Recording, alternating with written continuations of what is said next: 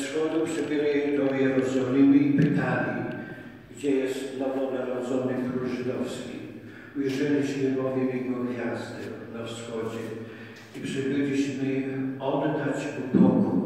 Skoro to usłyszał król Herod, przeraził się, a z nim cała Jerozolima. Zebrał więc wszystkich arcykapłanów i uczonych ludu wypytywał ich, gdzie ma się narodzić Mesjasz. Ci mu odpowiedzieli w Betlejem. Oto słowo Pańskie. Poświęćmy teraz opłatki. Pan z Wami. Dziękujemy Ci Boże i Ojcze nasz za ten biały chleb, opłatek, owoce ziemi, zgromadził nas dzisiaj w jedną przy tym stole.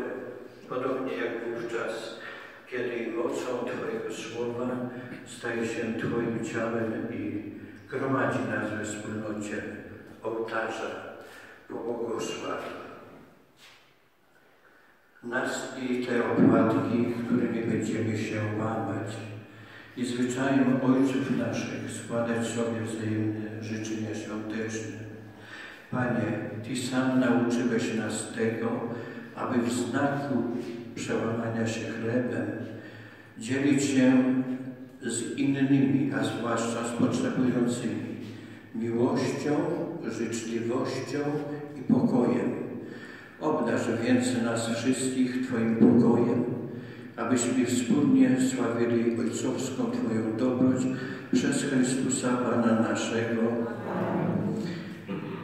Udziel naszej rodzinie miłości, zgody i pokoju. Ciebie prosimy.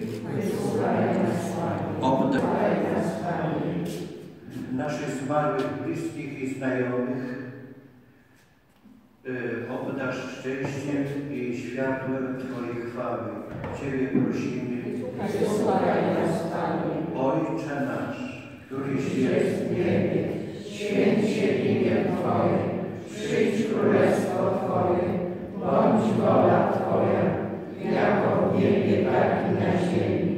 Chleba naszego powszedniego daj nam dzisiaj i odpuść nam nasze winy, jako i my odpuszczamy naszym winowajcom.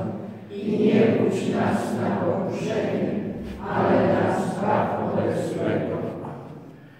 Panie Boże, Ty sprawiłeś, że ta zajaśniała blaski prawdziwej światłości rodzącego Syna Twojego, sprawa byśmy jaśnieli blaskiem Twojego świata w naszym codziennym postępowaniu przez Chrystusa Pana naszego.